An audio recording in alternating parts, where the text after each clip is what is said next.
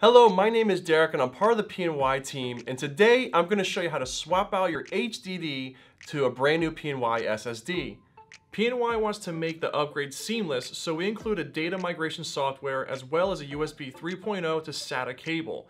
Let's start by cloning your HDD to your new PNY SSD using the migration software.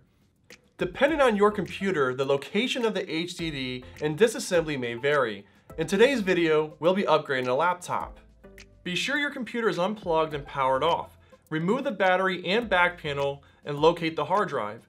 Unscrew the hard drive enclosure, remove it from your laptop, and unscrew the hard drive from the enclosure.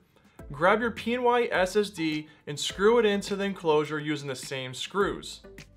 Make sure your SSD is installed the same way your HDD was so the SATA ports line up with your laptop. Install the SSD in the same spot and secure it by tightening down the screws.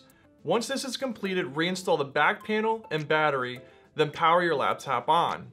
With your new PNY SSD installed, you'll notice faster boot times and overall better performance.